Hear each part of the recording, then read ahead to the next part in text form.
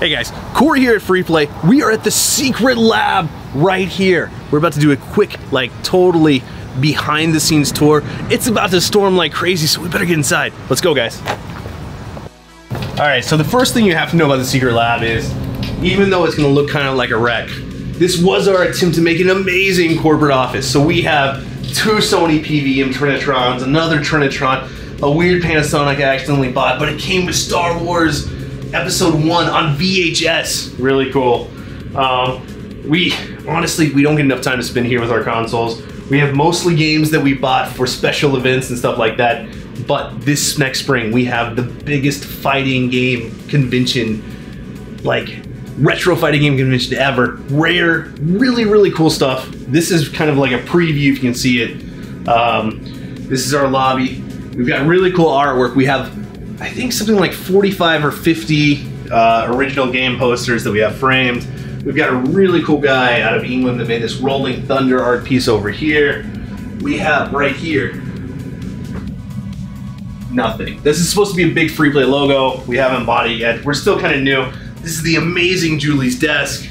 We're gonna peek in here really quick. This is like planning. Y'all are about to get like, y'all are about to see stuff y'all probably shouldn't see. This is totally like where this is our war room. It has nothing very interesting for YouTube, but a lot of stuff that's really interesting to me. And it has, if you watch the Channel 8 feature on Free Play Richardson the very first day, my mother, without my permission at all, hung this guy. We call him Fat Boy. Hung him up, put him up, and we still have him. We can't even get rid of him. We love him too much now. Um, and now he haunts the lab. Here he is in all his glory. All right, so here is what you, the best way to know that you're in like a crazy good arcade lab. Even in our planning room floor, we've got arcade boards everywhere. So we're gonna walk in here, we got like files, boring stuff, and also a ton of arcade PCBs. Uh, and these are just, we use these old pizza boxes as our, we don't actually eat the pizza, we buy them fresh, it's not all greasy. Um, but these are all working, beautiful PCBs. I mean, super rare stuff, R-Type Gaia Crusaders, I mean, terrible stuff, Street Fighter EX2, uh, a working Bagman, DJ Boy from Weird Game Month, Raiden Fighters 2, great game, Tiger Road, Mr. Do's Wild Ride, Donkey Kong Jr. Cowboys and Moo I mean, uh, Fresh Donkey Kong, Super Puzzle Bobble, eSWAT, all sorts of stuff, it's really hard. We have two splatter houses, which is now considered one of the rarest JAMMA PCBs and one of the most sought after, period. Techromancer, Time Killers, bunch of goofy stuff. Some CPS2 boards that we have here.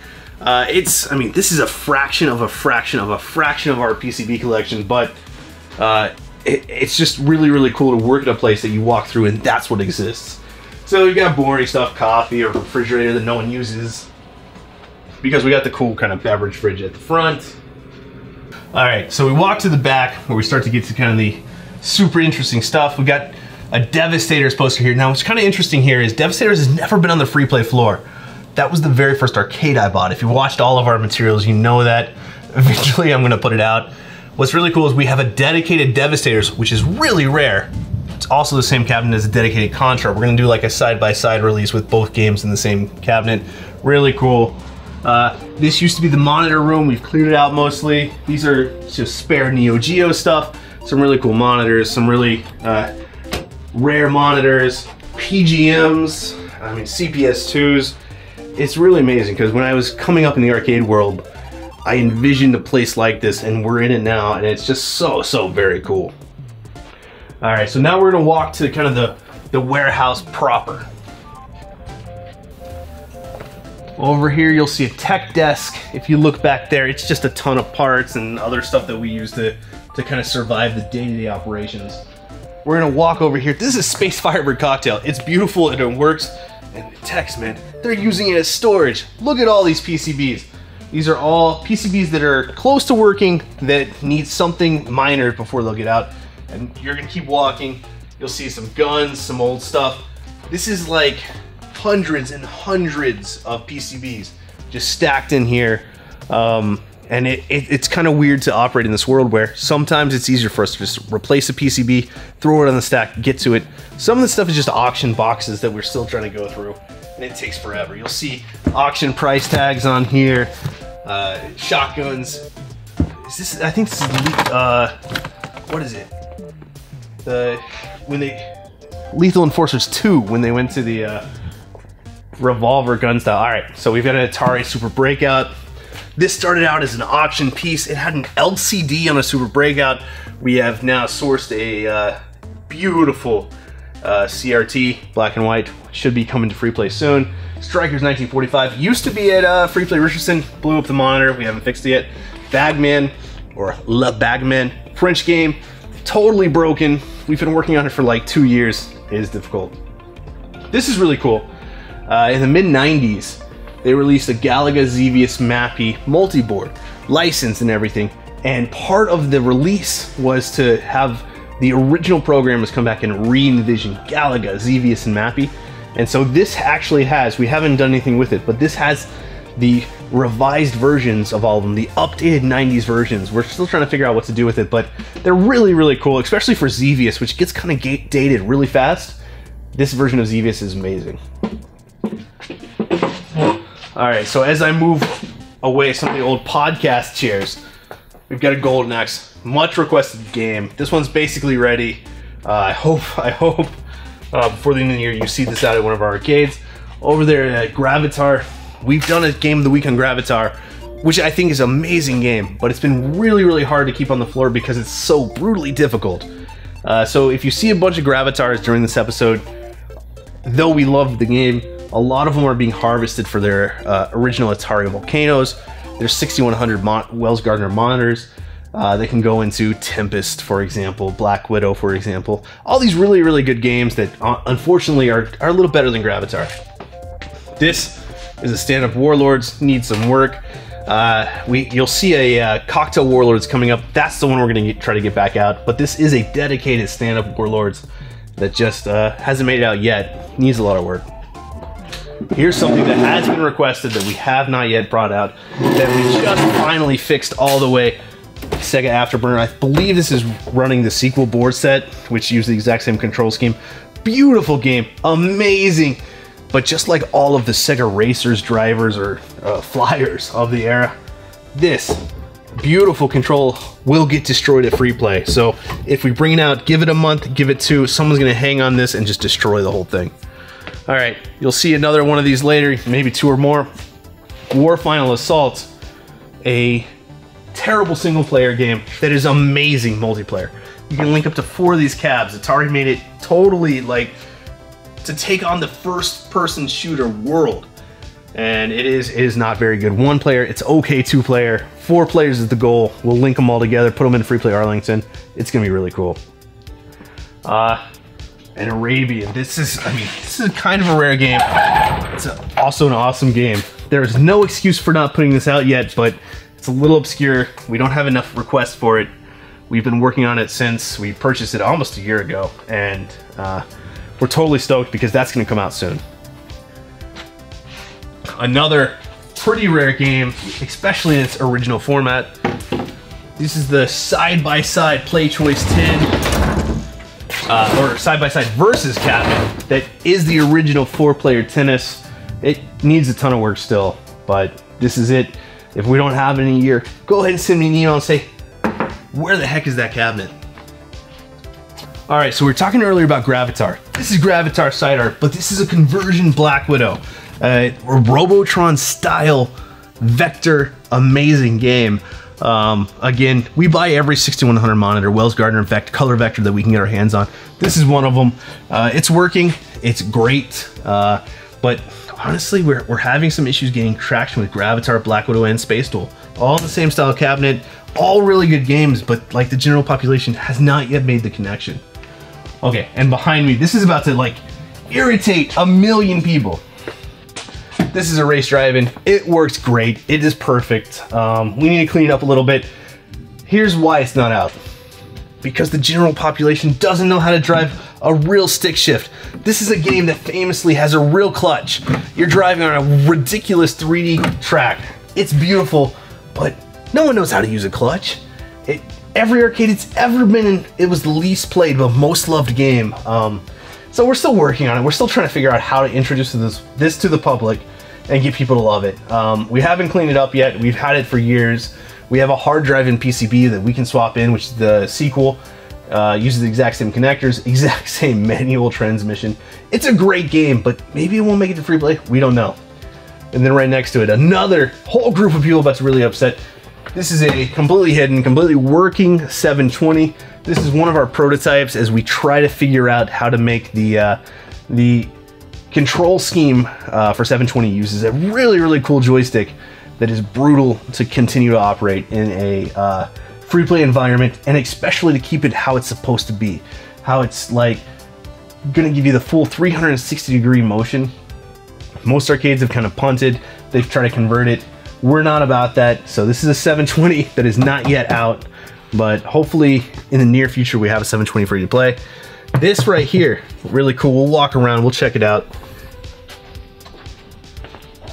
This is a launch game from Free Play Richardson that we never expected to have any issues with, but if we uh, were really, really knowledgeable about Chihiro PCBs and Chihiro motherboards, we would have known this was coming. They are brutal to keep running. Outrun 2 is probably my favorite all-time racing game. This was out on launch. We have uh, mined probably seven or eight Chihiro PCBs for it uh, to keep it going. This one's still working. It has a few little glitches, but we don't really know what to do because in the real world, we can't keep it running. Uh, House of the Dead 3 had the same issue. It's a Chihiro PCB.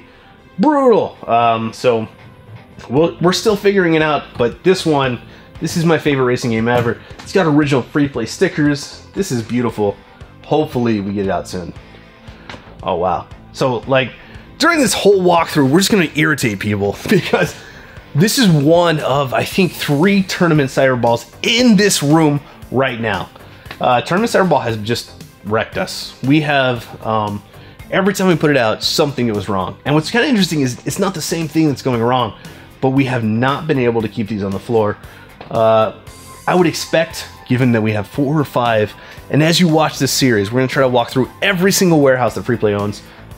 Hopefully, we will be able to bring all of these games together and give Tournament Cyberball a true, proper free play release. Because it's been out before, but it never lasts very long.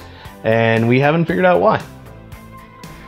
Alright, behind it, that's some fighting game Tekken. Uh, I wouldn't worry too much about it. It's probably been harvested for its controls. Maybe it's a harness. You've got Tekken 4, Tekken 3. Both work, but aren't really quite there. And, and in general, we found that like Tekken Tag, that's the popular Tekken. Tekken 3 and 4, they have there are certainly fans of the game, but if they can have Tekken Tag or Tekken Tag 2, they'd much prefer to have those. I mean, a beautiful ice cold beer. Uh, we're currently working on this. This is the problem with going through the lab. All of these are works in progress, but we keep having things that break day-to-day -day operations. So this is an ice cold beer in unbelievable shape. You won't find a side that's quite that good, I don't think, in the world. We need to redo the control panel, redo a couple little small parts of the PCB, it'll be out. So this one's pretty embarrassing. Jungle King. We actually have three Jungle King PCBs, all working, uh, except for the one that's in this cabinet. And before this cabinet could get on the floor, uh, it was out on the floor. It was coming to Let's Play. Before we get to Let's Play, the PCB started to get really, really glitchy. And then the monitor was a perfect replacement for another title game we need to borrowing the monitor. We need a new monitor in this. We should have it up soon, but no one's really requested it. Guys, if y'all like Jungle King, tell us. We'll get it back out. Oh, jeez. I'm about to get in a lot of trouble here. If you've watched the Game of the Weeks, you know this power drift is supposed to be in some beautiful guy's garage or some homeowner and he's enjoying that full motion. Go to watch that Game of the Week. It was an amazing Game of the Week. Um, what we found out is these seven or 800 pounds that this weighs, couldn't get into the guy's truck, couldn't get to his garage. We're still trying to find the right home for it. It's not at free play. You can watch the game of the week to know why. Um, we still have it. Maybe I'll just keep playing it. Maybe I'll just love it forever. But hopefully, someone that's watching this says, hey, I want a power drift and I live about a block away from the lab. If you're in Richardson, Texas and you want a power drift, let me know actually email Richard at richard at freeplayinc.com. Tell them you want it, and we'll see if we can work it out.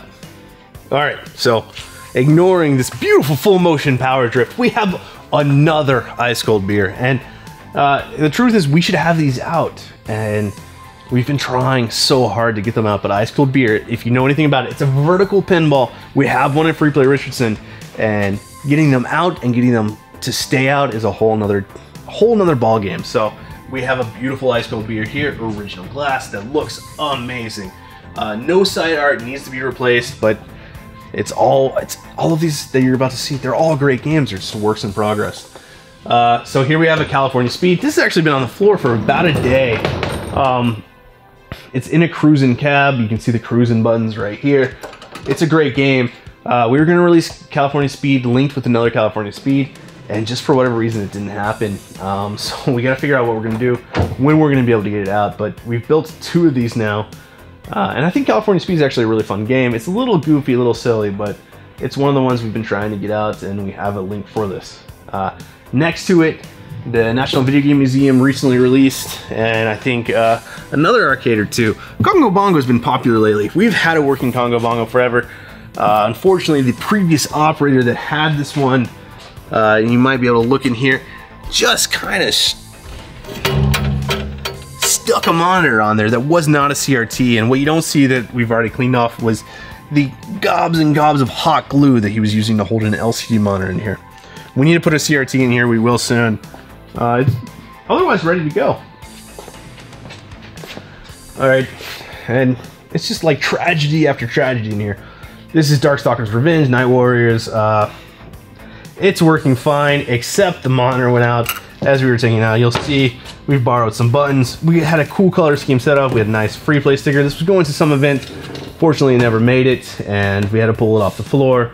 We haven't worked on it yet, but this is a Darkstalkers 2 cabinet that we hope to get out. Uh, maybe not in this video, but as we go through our warehouses, another thing you'll see that I clearly love is Baby Pac-Man. And Baby Pac-Man, we need every part that we can get. Um, we have one right now. You can go play it in Free Play Richardson, and then you'll see a bunch of busted old Baby Pac-Man cabs. That's what it takes to get the parts to run it. It's difficult. Uh, and speaking of games that we love that we can't get out on the floor right now, here's a, a very nice punch out. We need to finish it. Uh, we have a super punch out right now, I believe at Arlington. It's either regular or super. Uh, great game. We just have to get it out on the floor. But that's what we're doing. We're walking through a warehouse. These are things that we're working on. There, right there, is another Tournament Cyberball next to a Rolling Thunder. Both incredible games. Both, I mean, Rolling Thunder is currently at Arlington. It, it kind of fluctuates in and out because it's not the most loved. It is tech. I mean, it was my original favorite game. Crystal Castles maybe passed it up, but Rolling Thunder is amazing. All right, so here's a total piece of free play history that I for forgot about completely. This is the original free play menu. Um, and what's really, really sad is someone worked, I mean, for more than a couple days, making sure all these letters were in there. You have to snap them in. It is not fun. Um, and this was what was going to be the original menu. When we opened, we couldn't find a good place to mount it, and ultimately it ended up just kind of falling by the wayside. But this is still mostly our menu, but this was what was supposed to be the original opening menu for Free Play uh, Richardson about three years ago. Really cool, really awesome piece of history, and I feel so bad for the employee that just killed their fingers getting all of those things pushed in because they are not fun. All right, so we're gonna walk around here. Oh, I mean, this is a Ms. Pac cocktail.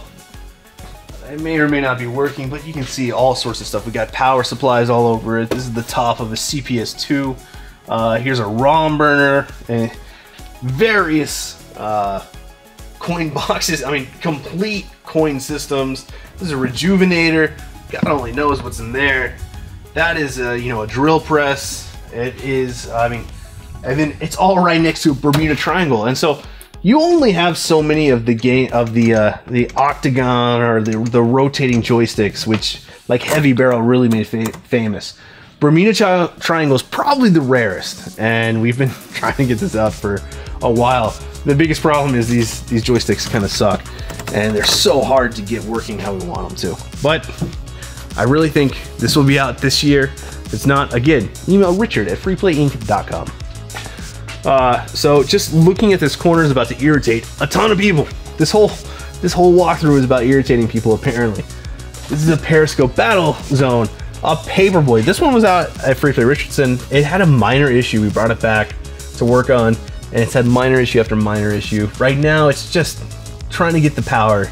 So Paperboy famously uses two power supplies. Our lower power supply just cannot generate enough power. We've replaced it, we've rebuilt it. There's probably a board issue there, but that is why Paperboy is not out on the free play floor right now. This is a beautiful Space Invaders. Uh, we are we have Space Invaders at every location right now. We just keep buying games. We love these games. Space Invaders in particular is one of my favorites, so uh, we have extras. Here's the Sunset Riders slash X-Men. What's really interesting is it has a Sunset Riders control panel overlay, an X-Men marquee, an X-Men plastic on top, but it's a Sunset Riders piece of wood underneath. As you can see, we have stolen all the original beautiful Wico joysticks from here. Uh, and these are just generic Wico push buttons that may or may not eventually get stolen. If I remember correctly, we've we've stolen a ton of parts from this cabinet because it was kind of a hodgepodge, not really perfect, and a great parts cabinet that we have now uh, pulled. But sad too because the uh, the original note says works. So that is what's tough about this entire business is finding parts wherever you can. All right, so coming off of this Konami parts cabinet, we have a super rare, super amazing, fully working Atari Fire Truck. This is what an original Fire Truck manual looks like. This is this game is in amazing condition. Unfortunately, we found that the Atari black and white games from this era do not work well on free play. It's difficult to keep them credited for one. It's very, very difficult. We have plans for this cabinet. None of them involve free play, unfortunately. Um, and you'll see another cabinet that used to be on free play floor, uh, Night Driver nearby. Uh, but this is a beautiful Atari fire truck. This is a deluxe fire truck with both steering wheels, with full sound. You, it's it's amazing. It's right next to an old style working Q*bert. Um, this needs to get free played in as soon as we can get it. Next to a Sega Turbo, uh, or Turbo Outrun actually. Uh, also working, also amazing. Right behind it, a Taito Exerion, rare, rare game. Amazing game. Uh, a shmup that we need to get out.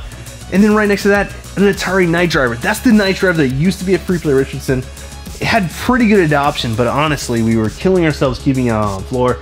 Um, and there were, you know, though it was popular, it wasn't popular enough to kind of uh, support the amount of work that went into it. So both the Night Driver and the fire truck, we have plans for, and they involve quarters. So hopefully soon we figure that out. All right, so we, we just keep talking, and it's so hard for me to do this because I love all of these games so much, but this is a white Nintendo Radar Scope cocktail, amazing. On top of it is the original Laserdisc from a Dragon's Lair 2. Um, it still works, but we're tweaking it ever so slightly. Next to it, uh, and this is this is a game that like it's so hard for an arcade to have it out, but we've been trying for a while. Mousetrap, um, and check it out. It's an Exidy game. The control scheme is absurd for a retro arcade. I mean, for any arcade, really.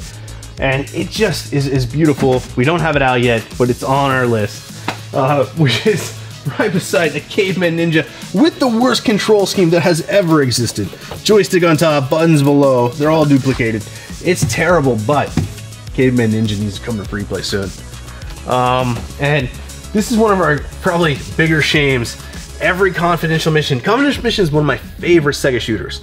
Um, but at this point, every confidential mission is serving as a kind of host for a bunch of really expensive, really awesome parts.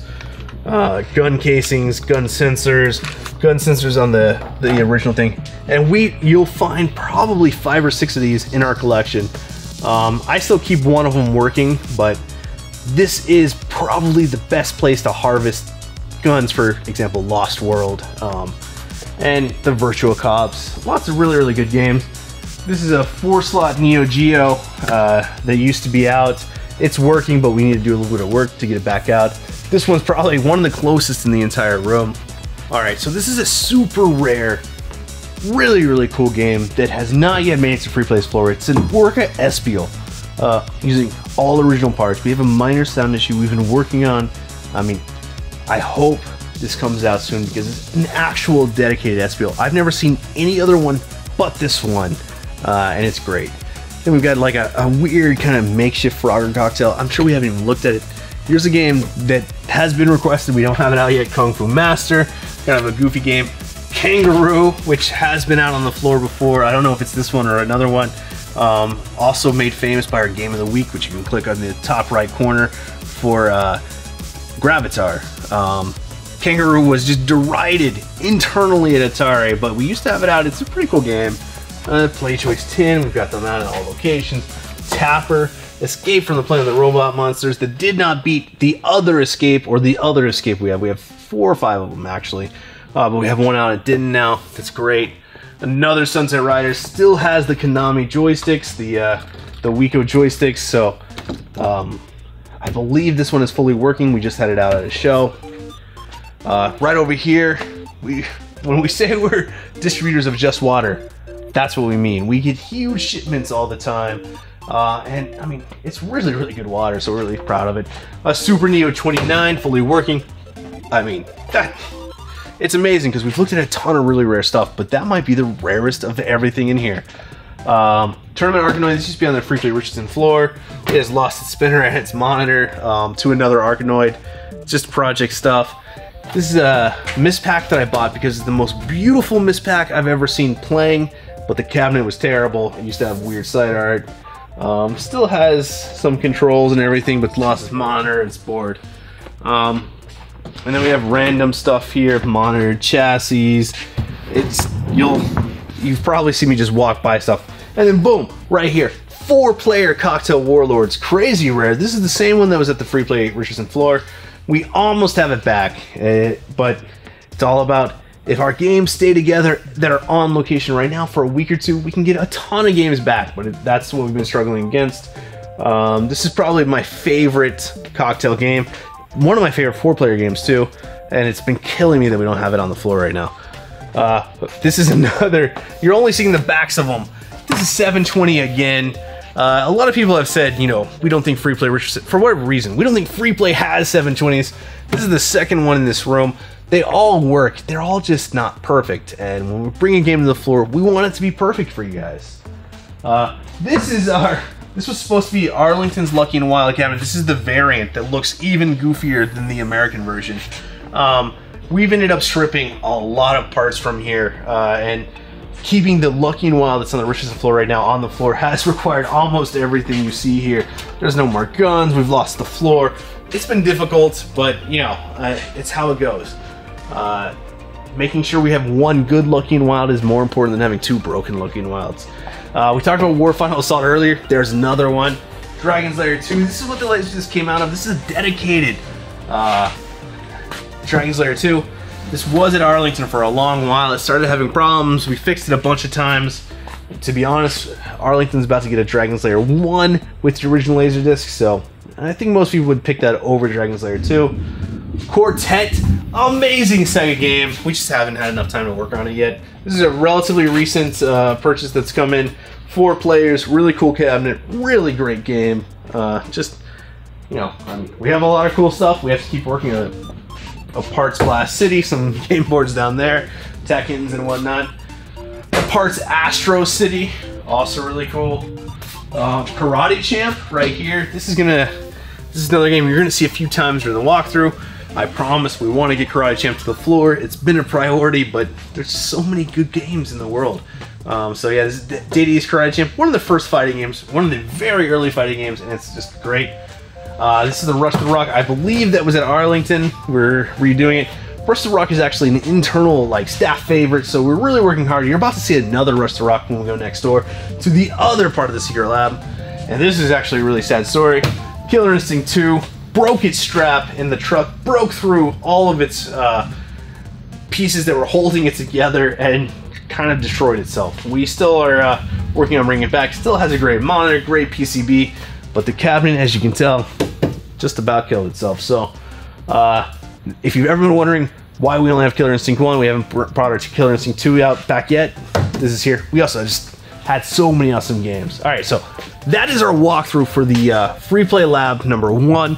We're about to walk next door. We're gonna go to their next site. It's gonna have a lot of cool games, a lot of newer stuff, um, and a lot of stuff that I'm gonna have to apologize is not on the floor yet, but we're gonna walk over there.